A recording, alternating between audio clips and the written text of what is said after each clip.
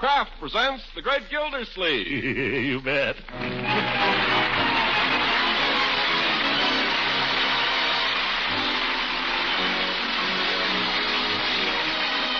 Kraft Cheese Company, makers of Parkay margarine and a complete line of famous quality food products, presents Harold Peary as The Great Gildersleeve. Kraft brings you The Great Gildersleeve every week at this time, written by John Whedon and Sam Moore with music by Claude Sweeten.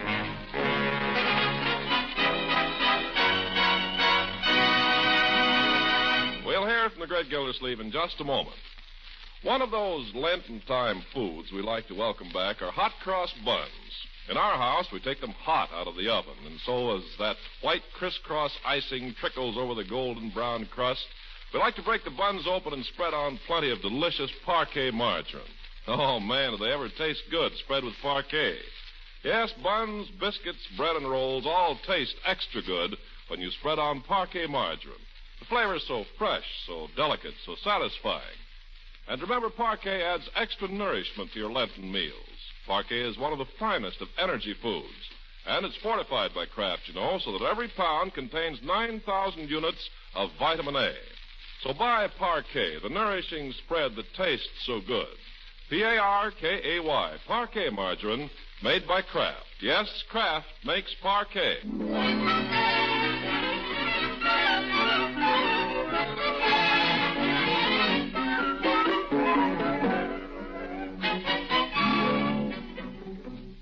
Got to accentuate the positive, eliminate the negative. Well, Gildersleeve appears to be in fine spirits this morning and a pretty fair voice. What's come over him anyway? He's up before daylight in his bathroom shaving. Yes, believe it or not, the clock stands at 10 to 7. The mercury stands at 2 below zero. The coal bin stands three quarters empty, and his bank account stands $11 overdrawn. What does he care? You got to accentuate the positive, eliminate the negative. Uncle negative. Mort, Uncle Mort, Uh, come in, my dear. what's going on? Well, a delegation. Good morning, Marjorie. Good morning, Leroy. Good morning, one and all. You'll wake Aunt Hattie. Oop. What's got into you, Unc? You're not as gruesome as usual. yes, what is it? Step inside and close the door. Children, Yes? You got to accentuate. Oh, come on, Unc. What is this? Children, your uncle is the bearer of glad tidings. What do you mean? Your Aunt Hattie, may her tribe increase, has decided that her mission here is accomplished. She's not going home. She's going home. Quiet, quiet. Let sleeping dogs lie. oh, I shouldn't have said that. That's no way to talk about Aunt Hattie. Don't ever let me hear you talk that way about Aunt Hattie, Leroy. No, sir. Very kind of your aunt to come here and look after you like this. That's no way to talk about her. You understand? What a character. You took the words right out of my mouth. When's she going, Uncle Mort? I don't know, in a few days. As soon as she can get a ticket. But we mustn't rush her, you understand? I don't want you to say anything about this. Not a word. Okay. Now, hand me that mug, will you, my dear? Where's my. Leroy, give me that brush. Can I mix up the lather, Unc? No, you may not, Why? because I prefer to do it myself. You may go now, children. Oh, can't we stay and watch? Yeah, let us watch, Unc. What is there to watch? you look so funny when you shave. You make such funny faces. Well, I have to make faces. Now, go on out. I can't shave with people watching me. Oh, please. Please, Unc. Well, if you keep out of the way. Don't forget under your chin, Uncle Mort. Which chin? Listen, you, I, I've been shaving myself for 30 years now, and I don't need any advice. Yeah? Who's there? It's me, Mr. Gilsleeve Birdie. Uh, open the door, Leroy. I didn't want to disturb you. I just. What's the matter? Never seen a man shave before, Birdie? Excuse me, Mr. Gilsleeve. I heard you stirring around up here, and I wondered how soon you wanted breakfast. I'll be ready in seven and one half minutes, Birdie. Yes, sir. How about her? Is she up yet? Miss Forrester. Birdie, she's leaving. Shh. Leaving? You- Not so loud, Birdie. But it's true. Miss Forrester is leaving. Hallelujah. Baby, this is the turning point. Yeah. That just goes to show, Mr. Gilsleeve, that shows the power of prayer. well, you keep right on praying, Birdie. But in the meantime, how about a little breakfast? Mr. Gillsleeve, it strikes me that this is the time for buckwheat cakes and sausages. Oh, man. Come on out here, you children. Let your uncle shave, and you'll get dressed.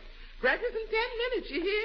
Okay, Birdie. You got to accentuate the positive. That, Mr. Gillsleeve. Eliminate the negative. Latch on to the affirmative. Don't mess with Mr. In Between.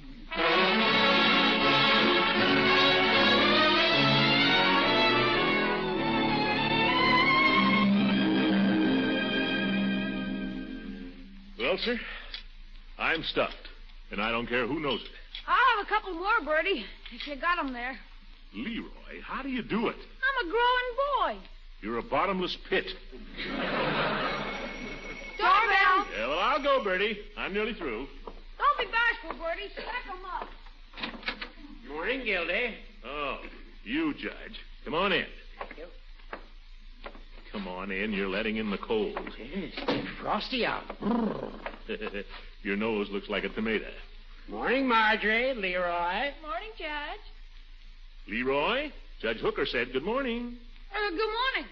Would you care for a cup of coffee, Judge? Warm you up. No, thank you, Birdie. One cup is my limit. I've already had two. Yeah. Come on in the living room, Horace. Take off your earmuffs. Can't stay, Gildy. I gotta get down to the office. I just dropped in to get your proxy. My proxy? For what? For the meeting tonight, the Jolly Boys Social Club. We're holding an election of officers, and I knew you wouldn't be able to attend, so I thought I'd Now, just... wait a minute. What makes you think I won't be able to attend? Well, will you? Well, as a matter of fact, no, I don't think I can.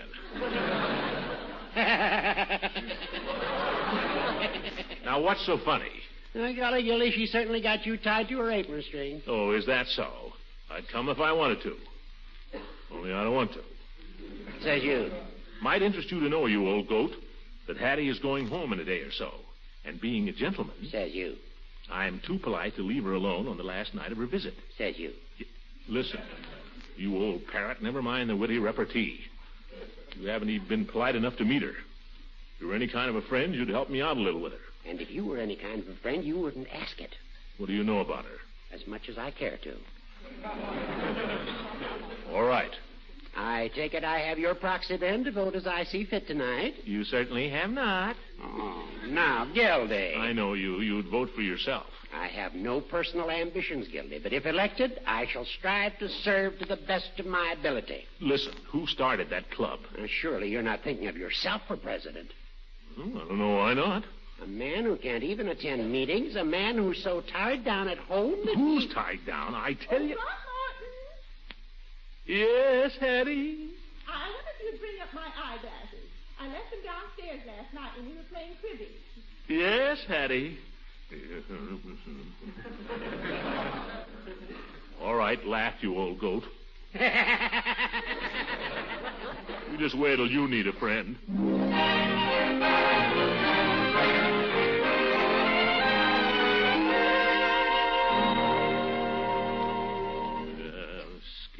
Old goat. I start the club and he wants to run it.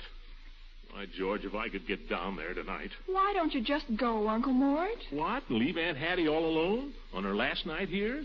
Oh, no, my dear, that wouldn't be very nice. If there's anything I hate, it's a schemer. She's she's coming downstairs. Huh? I remember what I told you. No remarks about her leaving. And for goodness sake, be polite, or she'll think she's got to stay and start work on you all over again. Don't worry. You too, Marjorie. Yes, Uncle Mort. Yeah, well, good morning, Hattie. Good morning, Aunt Hattie. Good morning, Aunt Hattie. Good morning, everyone. Did you have a good night's sleep, Aunt Hattie? Why, yes, Leroy, I, I did, thank you. That's good. I was afraid noisy children might wake you up, so I didn't let anybody play in the front yard. Well, that was very thoughtful, Leroy. Yeah, that's me. How are you feeling now, Aunt Hattie? Feeling? Why, why, I feel fine, Leroy. Why? That's good. Just wanted to know.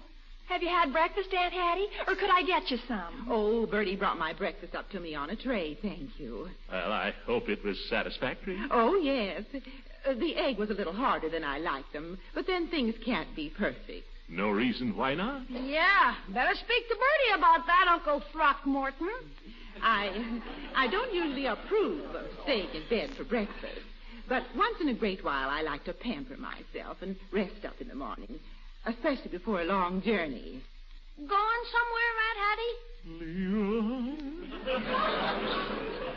Yes, I, I'm afraid I have to, Leroy. I've got to be getting home.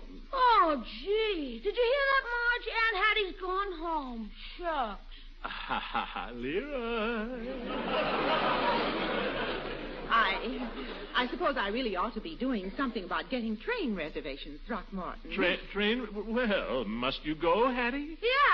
Couldn't you stay another week, Auntie? Look, little Lord Fauntleroy. Why don't you run along, you and your sister, and Hattie and I have a few things to talk about. Come on, Leroy. We'll see you at lunch, Aunt Hattie. Yeah, see you at lunch.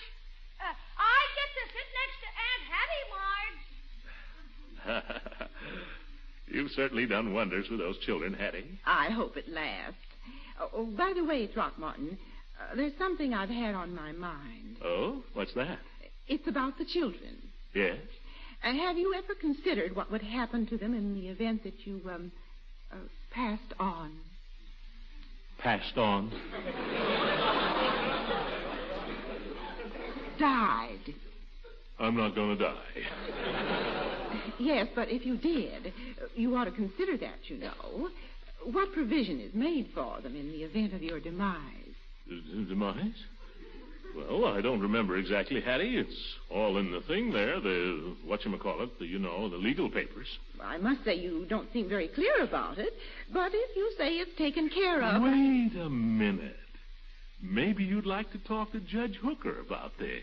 Well, it's no business of mine. You're the children's guardian. No, I think you've got a very good point there, Hattie. The judge is a regular bear cat on all that legal stuff. Tell you what I'll do. I'll call him right up. Well, I didn't mean. to- Oh, the judge would love to talk to you with about it. I'll ask him to come over this evening. Are you sure he wouldn't mind? Mind, he's been dying to meet you. oh, you'll be crazy about the judge. A wonderful fellow and a great mind. Yeah, the old schemer. If there's anything I hate, it's a schemer. Hello, Judge Hooker there. Well, put him on, please. This is Mr. Gildersleeve. Judge just came into his office. Hello, Judge. Gildy. Uh, Judge, I wonder if you could come over to my house this evening on a matter of business.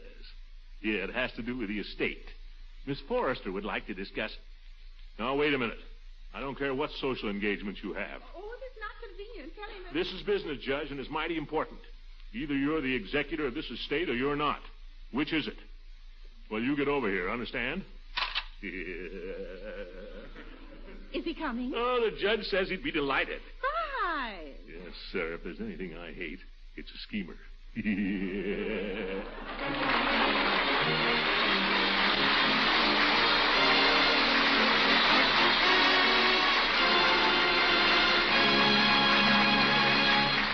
Great Gildersleeve will be with us again in just a few seconds.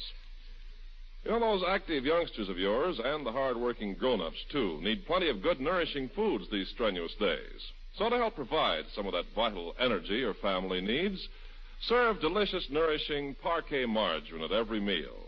Include Parkay margarine in lunchbox sandwiches, too, because this spread that tastes so good is also one of America's best energy foods. What's more, Parkay provides your family with some of that important vitamin A they need every day for good nutrition. Kraft, you see, fortifies every single pound of Parkay with a guaranteed 9,000 units of vitamin A. So serve Parkay often for its grand flavor goodness and also for the splendid nourishment it provides. When you buy margarine, insist on Parkay. P-A-R-K-A-Y. Parkay margarine, the Kraft quality spread for bread. Yes, Kraft makes Parkay.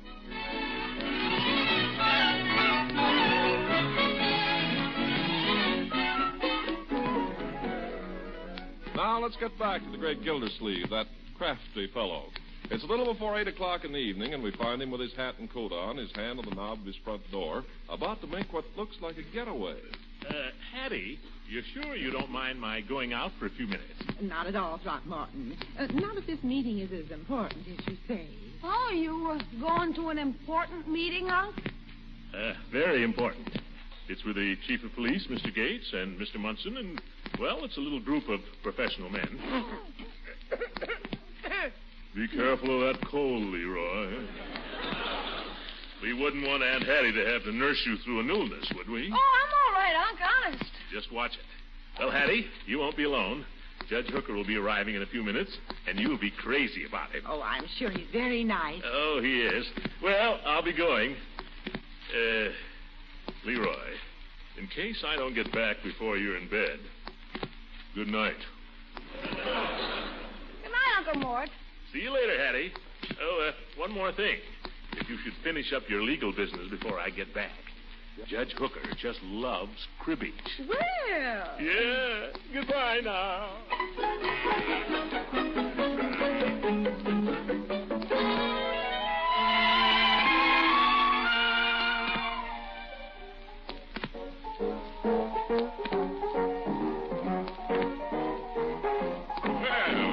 Catchy name of that.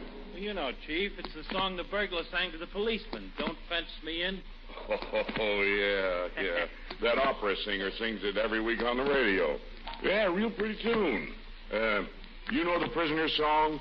Oh, if I had the wings of an angel. Oh, get your mind off of business, Chief. Oh. We're here to relax tonight. I'm relaxed.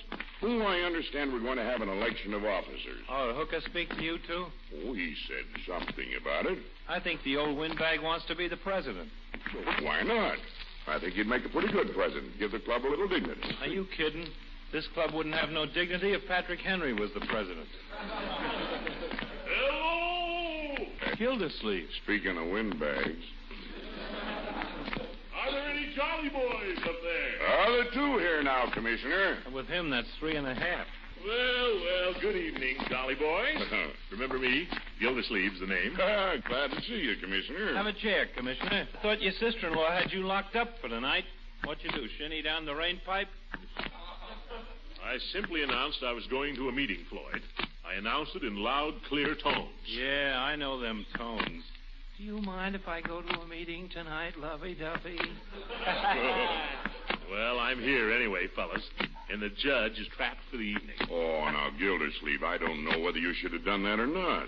The judge has his heart set on this election. what do we want with a president anyway? Oh, we should have a secretary, too.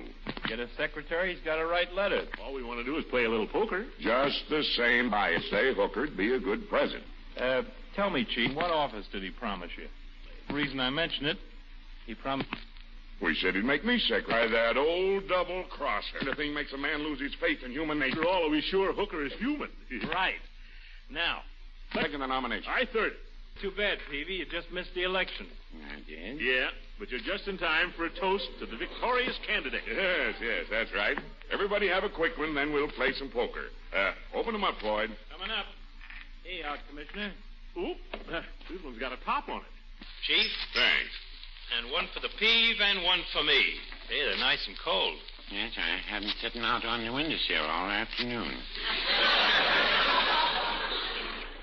Gentlemen, a toast. Judge Hooker, the finest dog catcher this club ever had. Well, I wouldn't say that.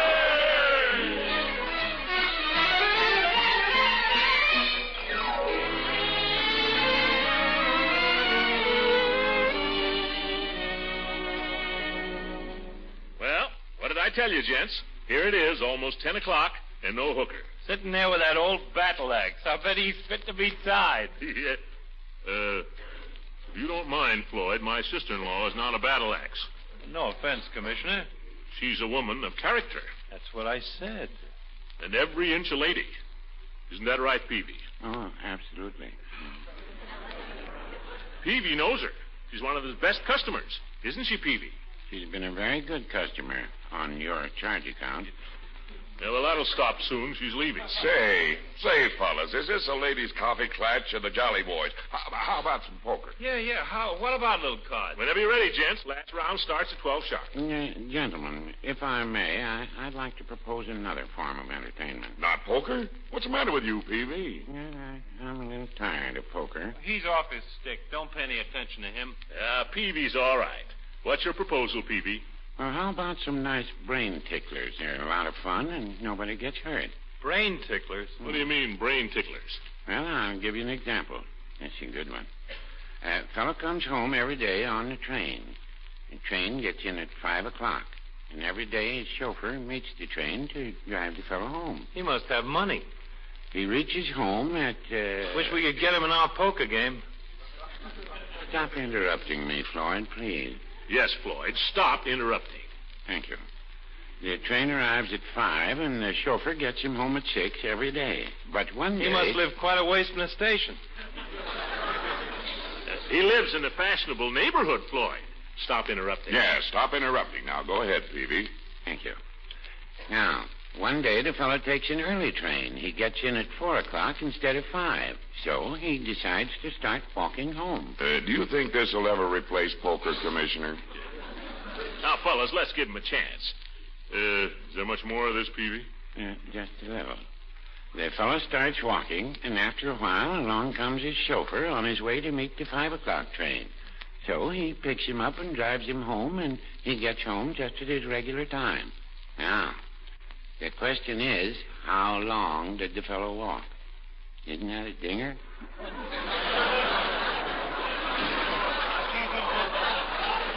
Well, I'll let you boys figure it out while I have another Coke. Yeah, get me one, too, will you, Floyd? Yeah, me too, Floyd. Say, how about a song? Yeah, let's have a song. Oh, I feel just like a song. Oh, fellows, aren't you going to solve the brain tickler? Oh, that. Well, I didn't really get all the details, Peavey, the way everybody kept interrupting. Yeah, I'll tell it to you again, Mr. Gildersleeve. Now, this fellow comes home on the train every day. Yeah, Peavey, have a Coke and quit worrying about that rich commuter. Mm, thanks, Floyd.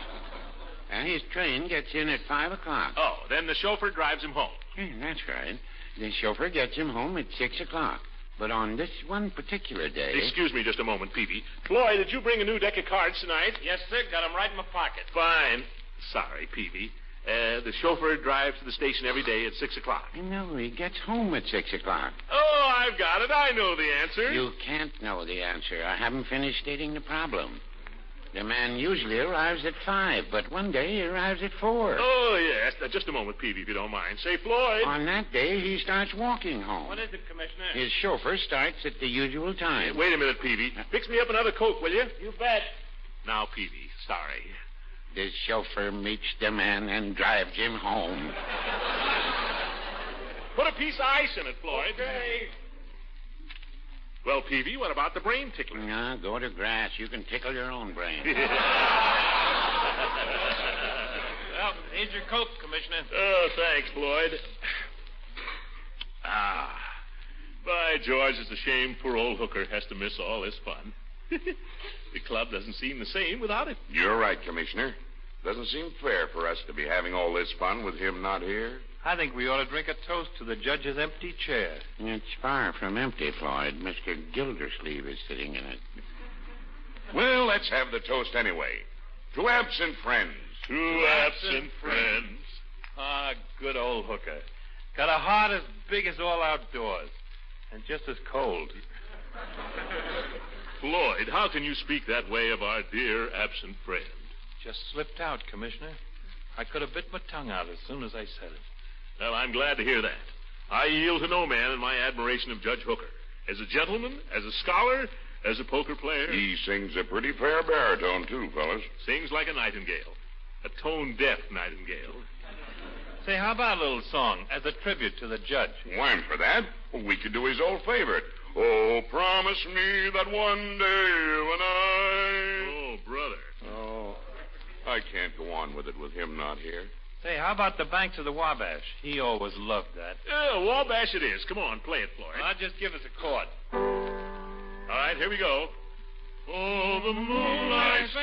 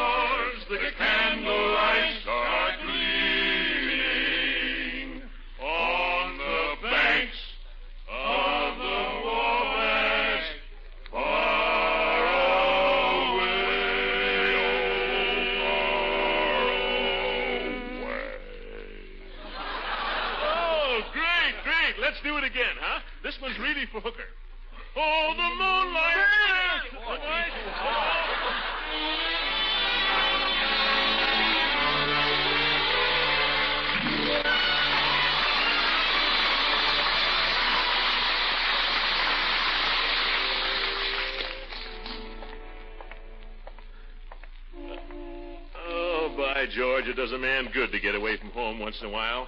You know that, Peavey? Hmm, I dare say. I dare say. Yeah. You want to get out oftener yourself, Peavey, you know it? You want to be like me. Hello, I wouldn't say that. Sure, look at yourself, Peavey. You go home every night, and what do you do? You read the paper, you listen to the radio a while, and then you go to bed. You're in a rut. Yeah, it's a pretty nice rut. Not for me, boy. Say, isn't that Judge Hooker's car? No, wouldn't. Certainly it is. I'd know this fender anywhere. They must be having quite a legal discussion in there. Yeah, discussion nothing. If I know Hattie, she's hooked him into a cribbage game. the judge will never forgive me for this, Peavey. Well, I guess I'll be going along. Good night, Mr. Gildersleeve. Good night, Peavey. Thanks for your company. The pleasure was mine. Yes, sir. He's still in here. Oh, promise me that one day you and I. Hooker! Well, I had no idea I'd find you still here. Oh, I've had a delightful evening, Gildy. Huh? And so have I, Throckmorton. And guess what? What, Hattie? The judge has been so charming, he's persuaded me to stay another few weeks. Huh? Judge. Oh, promise me that one day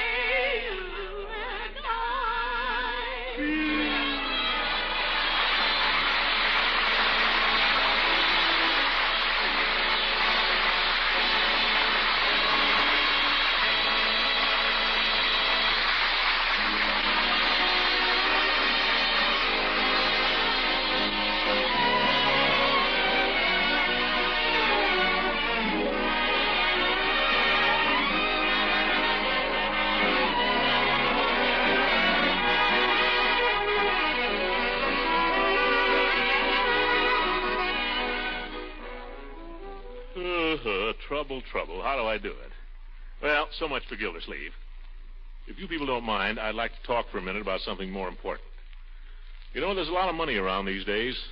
There's not much to spend it on. So it's a temptation to throw it away on stuff we don't really want. All I want to say is, don't. There's a man coming around to your house pretty soon with a better proposition. Most of us have someone pretty close to us in the war by now. The money we'd blow today without thinking could save his life tomorrow if we stop to think. Look at the men in uniform you see on the street these days. The men who are fighting this war for us. They're kids, most of them. A lot of them have never even been away from home before. And they're a long way from home now. They need more than just weapons and training and food. They need a little comfort now and then when it's possible. They need assurance that everything's being taken care of back home. They need diversion and rest from the strain of battle.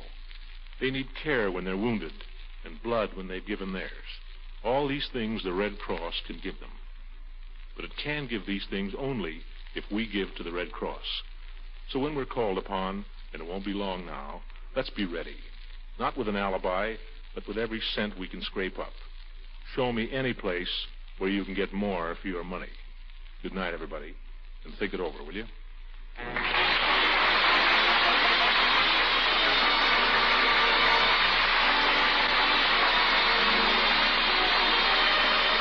Music on this program was directed by Claude Sweet. Ken For the Kraft Cheese Company, makers of Parkay Margarine and a complete line of famous quality food products. Kraft invites you to listen again next week for the further adventures of the Great Gildersleeve.